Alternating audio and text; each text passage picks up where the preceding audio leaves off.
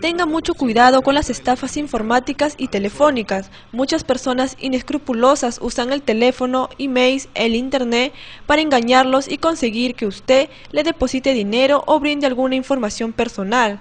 La ingeniera y presidenta del Colegio de Ingenieros Informáticos, Sistemas y Computación, Diana Muñoz Casanova, les brinda algunas recomendaciones para prevenir ser víctima de estafa. Es eh, imprescindible recomendar a toda la comunidad que estemos alertas usualmente si usamos el correo electrónico siempre hay muchas propagandas, estafas, ¿no? En todo caso, hasta en el mismo teléfono celular, ¿no? Recibimos mensajes, hay que estar alertas, generalmente contesten llamadas de personas que, que tienen su celular en su agenda, que no contesten en teléfonos desconocidos y cuando hagan uso de su computadora, entonces que siempre tengan un navegador este, que utilizan, ¿no? O sea, que no añadan a personas desconocidas, generalmente se recibe correos spam maliciosos que mejor no los abran, que los eliminen de una vez,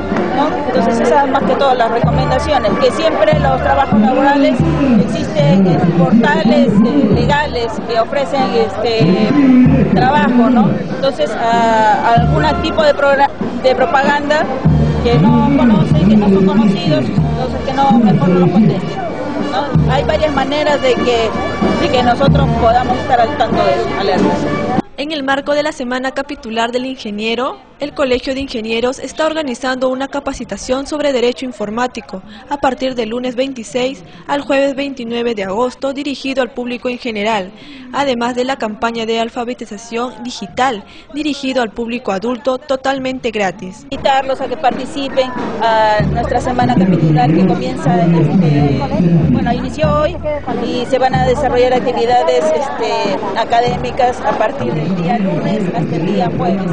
Entonces los invito a participar a todos colegas y que se integren a nuestro colegio. ¿no? Entonces esa es la convocatoria para todos.